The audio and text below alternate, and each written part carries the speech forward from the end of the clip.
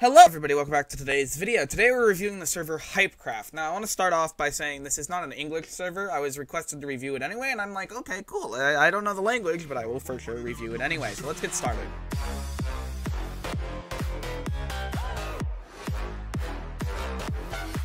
Alright, so we've joined in. Now, since I can't actually read pretty much anything in whatever language this is, I can kind of guess what they say, but I can't actually read it. I know that's Towny and that's Staff, so I'll, I'll be able to help you out on here for some of that. Now, I'm not exactly sure what's supposed to be here. I'm guessing that's once I go through there, it's going to come up. But these blank spots, I would recommend until you get through that point where those actually pop up, they don't appear. That's just my thoughts on it. I think that would look a lot better. So you have your you have a pretty nice lobby here. It's a pretty small lobby for this many holograms, though.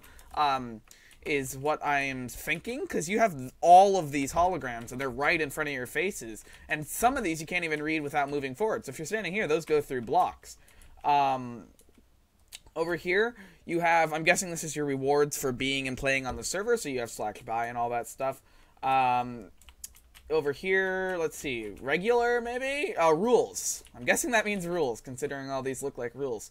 So you have rules here, but I'm guessing if I do slash rules, it's just going to be the default. Yeah, so maybe make the default rules. When you type slash rules through essentials, it actually appears here, or something like that. I don't know. Uh, that teleports you to a different game mode, I think.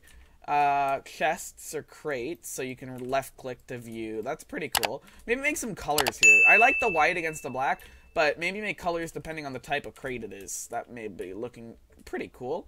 This is your staff, I believe. Yes, it is. So you got your owner and mods and mod. So you have your owner here. You don't. You have all these floating heads. I don't know if the floating heads are necessary, but um, maybe make it like an NPC or something. Maybe looking a little better.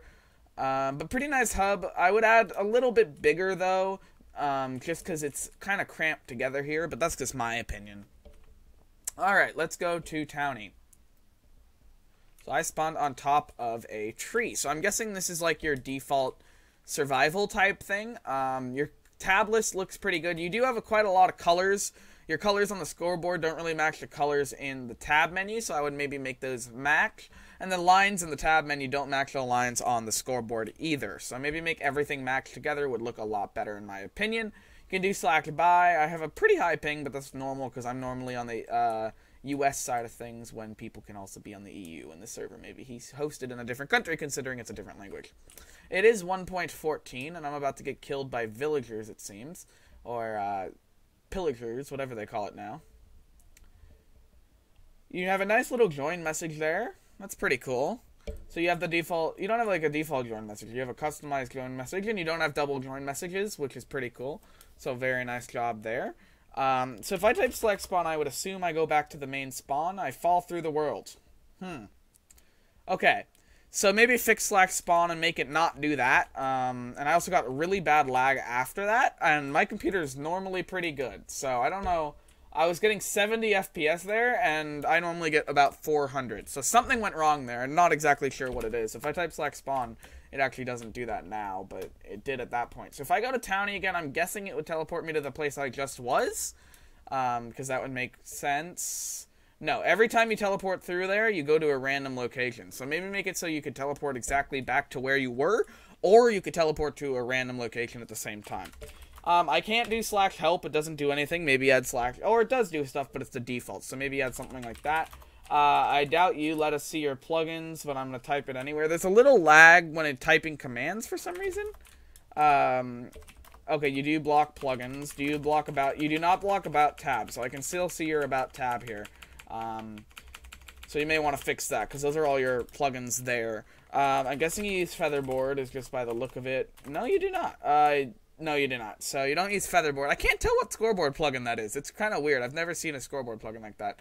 Um, but Featherboard, I would recommend using it. Reduces lag. It adds more of the animations and stuff. That's just my opinion. I don't know how much money you have on the server to spend, but Featherboard is worth the price if you're able to. Um, but overall, you have a pretty nice server here. I'm not exactly sure. I don't think I can do slash store. I don't think there's warps. There's no warps. Warp store. Warp uh, crates. You don't have any of those. So I'm assuming um, you guess it's like survival and you can survive around. But I would add more of a tutorial. I'm not sure if maybe the tutorial's in a different language or something, but just do something along the lines of that. I think would work out pretty well. Um, but overall, pretty nice server here. I don't exactly know what I'm going to review into it. The few things I mentioned is all I noticed, and I think it would look better on the server in general. But hopefully you take these review and um, improve your server with it and all that stuff. I'm going to go see how the death works on the server real quick by building up and killing myself here um, off the blocks. And I'll see how fall damage kills you and everything. Um, and all that stuff. So when you die, you do keep your stuff. Maybe make a custom death message would be pretty cool. And then you want to keep with the unique either bracket or double uh, red lines. Whatever works better for your server, just keep it all consistent, in my opinion. So great job on the server. Hopefully you have success with it in the future and you continue getting players on. And I will see you in the next video.